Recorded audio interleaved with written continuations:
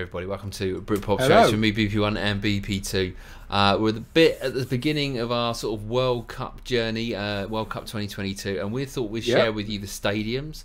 So obviously, Yes. all new stadiums that were built in Qatar for the World Cup. Um, all of them are, I believe, within a 34 mile radius of each other.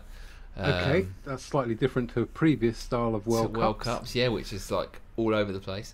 Uh, so Mm. we've got a little video here by StadiumDB.com. Okay. Um, we're going to break down some of the stadiums, and we can have a look at them with you guys. yeah. uh, and see what We were going to do originally. We were going to do um, all the drinks to drink during your World Cup.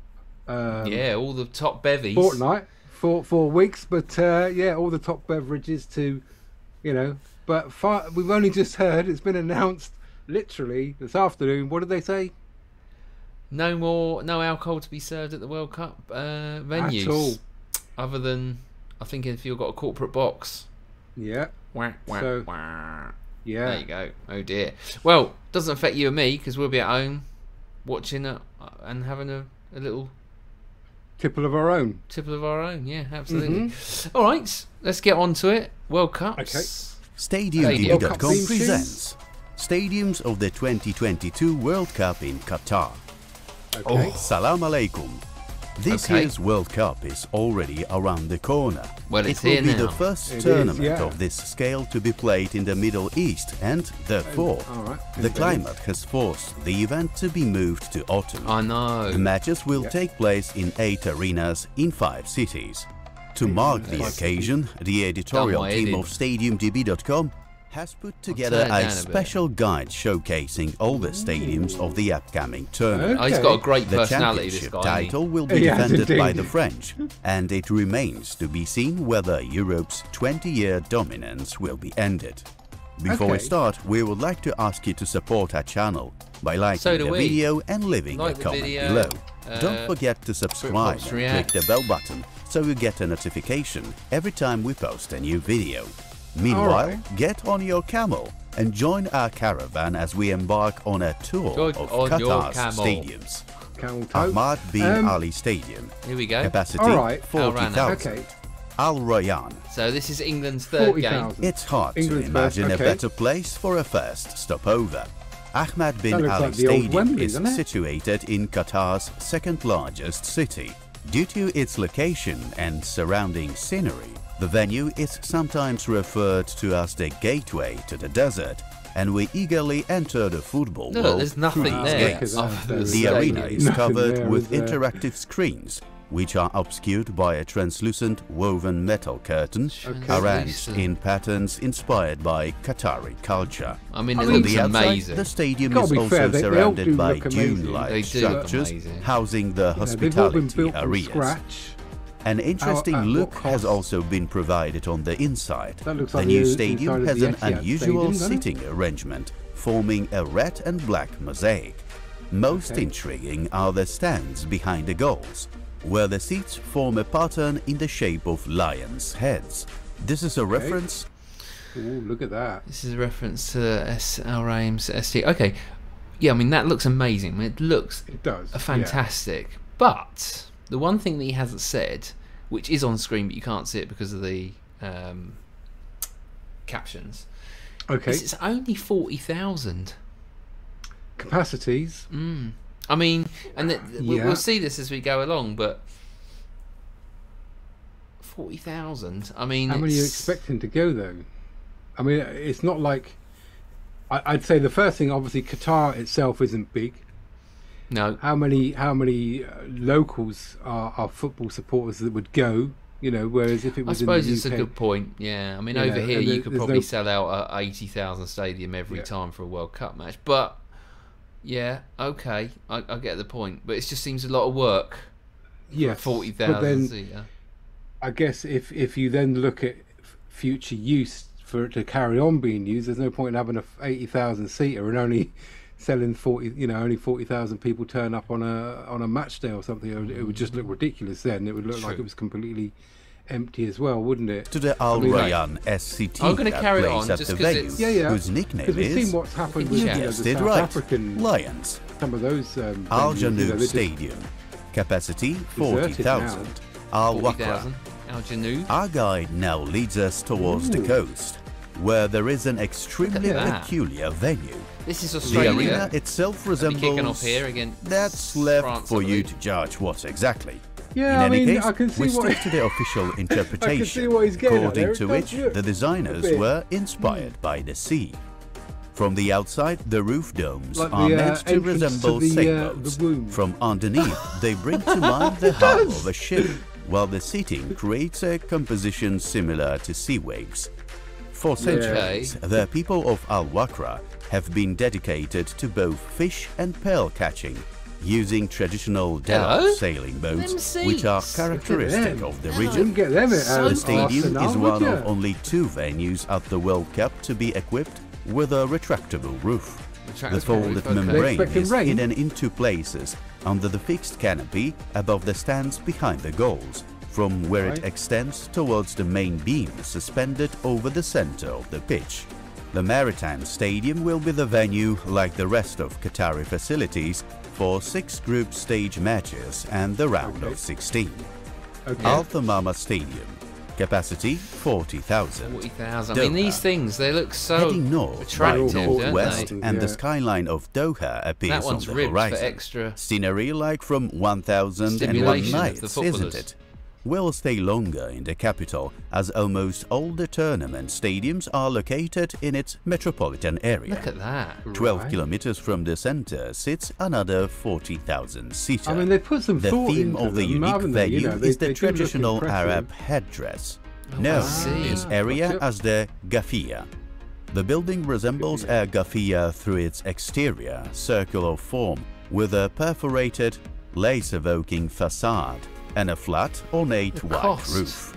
Yeah, I The mean, stadium I mean, was look at would you that. wanna know? I mean, it, It it, it's perfectly round, Yeah, which is odd. Even for normal football stadiums, you have it and it's normally, you know, stretched because of the pitch. yeah. I mean, this, just just the roof alone, it's very odd.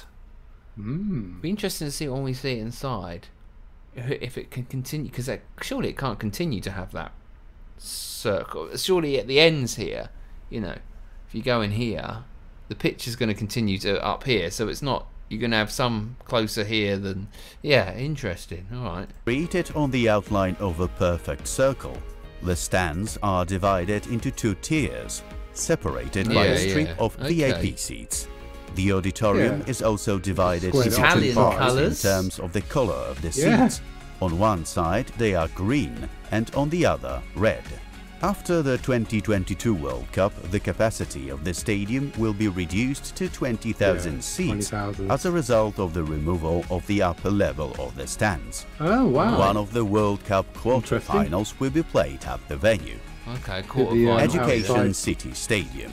Capacity Is there? 40,000. Al Rayyan. 40,000, yeah. We remain in the Doha urban area. Oh, hang the next on. venue Oh, Look, in the background here, yes. you can see another one.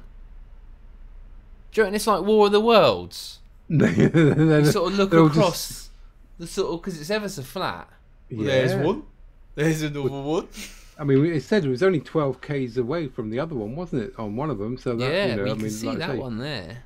Exactly. see another yeah. one there. So I think that's the Eiffel Tower in France there as well. yeah, the Eiffel could see Tower's for managed miles. to make an appearance there. Can see for um, miles here. Brilliant. Yeah, you can see a long way.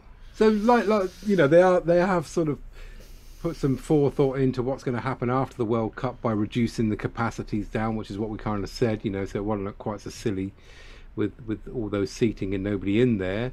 Um, I mean, they, they do look impressive. Uh, yeah. Okay. Yeah, I, I was, you know, we remain in the Doha urban area. I mean, Mhm. looking at it, that's that, and they're remaining in that area, but you can see that's not that circular shape, is it? I mean, it looks like the No. in, game that the England are gonna. England's first game is in the Khalifa International Stadium, which I, I believe has got a bit of a funny roof.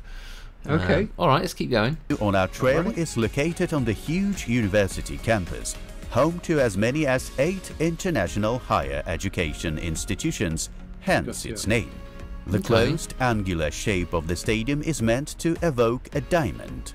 This is Diamond. the Of leitmotif of the arena, also known as the Desert Diamond. thus Right. alluding to the rich design of Arabian architecture. The roof is covered with metallic panels. The facade is made up of rhombus-shaped elements. I mean, it and does look amazing. Change It does, depending yeah. on the angle of the sunlight. At Wow. night, the facility can also that. be illuminated. The auditorium has been divided into three levels. The uppermost of these will be mostly dismantled after the tournament, leaving around 25,000 seats. The rest of them will be donated to developing countries. One quarter-final game will be staged here. Okay. Once cool. again, we would like to seats encourage you to subscribe stadium to that our you haven't channel got. and hit thumbs up. Yeah, yeah, Remember exactly. to click the bell button as well. By doing Remember, so, um, you won't miss any of the future content and will help our stadium project grow. Remember in the, the Khalifa uh, International Stadium. Japan World Cup, and there capacity was one of the stadiums, wasn't there, where the the whole of the ground, the, the pitch came outside and all that kind of stuff. I mean, Yeah, yeah, very some, some clever pitches. stuff. You know, I mean, this one here again, this looks a bit sort of Oh, this is the Al Rayyan Stadium. So I, I believe this is Khalifa Stadium. Yeah, this is where the Khalifa one. US, the US. If you're watching this, this is where I believe. Oh no, hang on. That No, does look a that no, no, like, no, um, no, no. This is Khalifa International Stadium. Yes, sorry. Yep. So the Khalifa first one that. we did, the Yep. first stadium, that's where the US will kick off. Okay. Um, Australia kick off with the Al Janoub, the one that you said looked like a womb, or the entrance, entrance to. to. and England will kick off here at the uh, Khalifa International Stadium. All right, let's keep going. 40,000. It's a bit sort Al of Rayyan. Wembley-ish, new Wembley. There is no denying that Oh, the look, World it's got Cup the organizers next to it. are not Ah, making it easy one. for us the to one. run the So tournament again, you know, this, this is a bit This is the fifth Wembley-ish stadium with the same It's a bit like capacity. Wembley, yeah. And we should Yeah. mention that the next one will not hold more spectators at all. But there's no need to dwell too much about it. Forty So thousand. let us get back to the point. Khalifa International Stadium I mean, is the looks the oldest part, venue in the World Yeah. Cup roster, and the only one that was not built from scratch. The Oh. arena opened in 1976 and was expanded between 2003 and 2005 in preparation for the 2006 Asian Games. During Right, the 2014-2017 upgrade, the east stand was enlarged. There was also a completely new roof covering all stands and new Yeah, arches running above it. can't? Yeah. It is the only Qatari tournament stadium to have an athletics track. For course. football matches, the circuit is covered with carpet. Seats in the Okay. arena are in the national colors, white and maroon, with grey added for a more interesting effect. On the upper tiers of the auditorium, The only along thing, pitch, like I say, with, they are with arranged these in the stadiums, characteristic There triangles, were quite a few old familiar school ones from the like that one with the, flag. sta- with the The track around venue the will play host to the Just match miles for away third from the place. action if you were actually there. weren't you? Stadium You know, the seating and that 974, capacity a long way from the 40,000. Doha. Nine seven four. We the know a lot about ground this on our list is located right on the coast of the Persian Gulf. Wow, Of particular okay. note is its unusual architecture, which All from a distance gives Look the impression Lidl's. of having been built from Legos. It is the first temporary stadium in the history of the World Cup cargo built boxes, specifically for the event. Cargo. eh, They A are large shipping number containers. of steel Yeah. elements, prefabricated components, and recycled shipping containers like were used to build the arena. The choice of materials and the temporary state of the venue allowed costs to be significantly reduced. Okay. Most interesting is the use of containers, which proved to be an innovative solution for Hmm. the construction of such a large stadium. The huge Okay. boxes are reminiscent of Doha's seaport traditions. There are exactly 974 containers used in the structure, a number which is no coincidence. It is, Right. after all, the area code for Qatar. After the tournament, the facility will be demolished and the site transformed into a green area. Al Bayt Stadium, Was this capacity 60,000. 60,000. Al Khor. We find Is this gonna be ourselves the in the northernmost stadium of the World Cup. After such a long trek, it seems we could not have come to a more suitable place as a Oh, caravan looks like a tent. in front of It- a yeah. gigantic tent. Yeah, yeah. the stadium has been encased in an original facade connected to the roof, the shape of which sets the theme of the venue. a traditional Bedouin tent, Bedouin the so-called Yeah. Bayt al-Sha'ar, hence the name. The exterior is white with horizontal black stripes running Very all odd. around, symbolizing the tribes and families that used similar structures. The hmm. tent surrounding the stands was created on a rectangular plan, and its dimensions exceed the size needed to cover the auditorium. The venue is the second Oh, arena wow, of the championships Inside, yeah, to feature a retractable roof. The seats in the auditorium are predominantly red, and the color scheme is enhanced by black horizontal stripes with traditional Bedouin Sadu patterns. How funny. This motif is also repeated in Oh, the interior that. Yeah, decoration pretty of the smart, stadium. Isn't Hey, it? Do you you get a beer in there? you call it, opening ceremony there. and the first Definitely match of the in there. tournament, which will take place on November the 20th. The host So that's the first match. So that is Yep. Qatar versus Ecuador. Um, here. Yes, indeed. So that'll be good because obviously you have the sort of opening ceremony, don't you, a little bit, which isn't Yeah. too over the top, but we'll see what happens in uh, Okay. Qatar. So yeah, all right, we got uh, a couple left, I think, maybe looking at that, maybe one, maybe one more left. Um, we'll keep going. So it's just about to tell us what other matches are going to be played here. host rival will be Ecuador. In addition to the group matches and one Well, round of 16 impressive, game, there will also be a quarter-final and a semi-final. Quarter-final and a semi. So I think we're going to just about see the stadium. Stadium. Eighty Capacity thousand. 80,000. This is where the final's going to be. The final Again, stop on our tour was. is Wow. one of the largest That sort of stadiums like in the the Middle East, from the venue for the second semi-final and the grand final of the World Cup. The facility was built on the outskirts of the capital in the futuristic city of Lusail.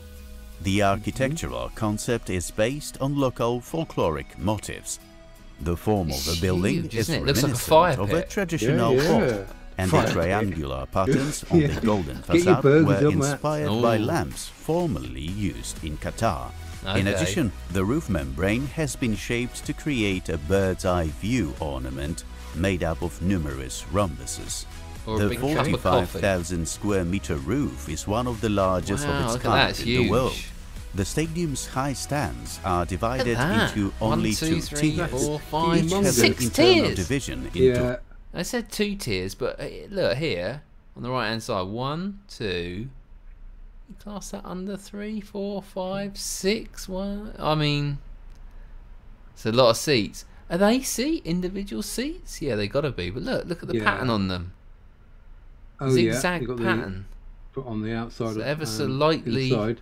Changed colour. Clever, aren't they? Okay. Very di- How? Yeah, I mean, it does look nice. I I say, it does, sort of reminiscent of the the Bird's Nest Stadium a bit, wasn't it? Um, Mm. I thought. World Cup final Uh, going to be here. Looks looks good. to improve communication and offer optimized positioning of pedestrian walkways or places for the people with disabilities. The final concept Going a bit was fast there, kept secret for a long Yeah. time I was trying and to was count made them. public when construction was already at at an that. advanced stage. After I mean, the if World you- Cup, if you got the all that there, you're capacity hardly going there to watch reduced footy, to 40,000 No. spectators. It's a lot for Our 90 minutes. caravan managed to happily reach the end of the voyage. you. Qatar is a fascinating and beautiful country There we go. Hmm. I think that, I mean, it, it- there's no denying how good it looks. Yes. But I will mean, it they- they- have- Yeah. The tradition of the atmospheres. That's the thing, you know. I mean, World Cup Italia '90 for me was was you know unbeatable just because of the you know the stadiums that they were playing in were Yeah. legendary. You know, they got their own Yeah. legendary status. all got their own history and, and you know things you know as Just you say that there was an atmosphere about it. Is this going to be too clean cut?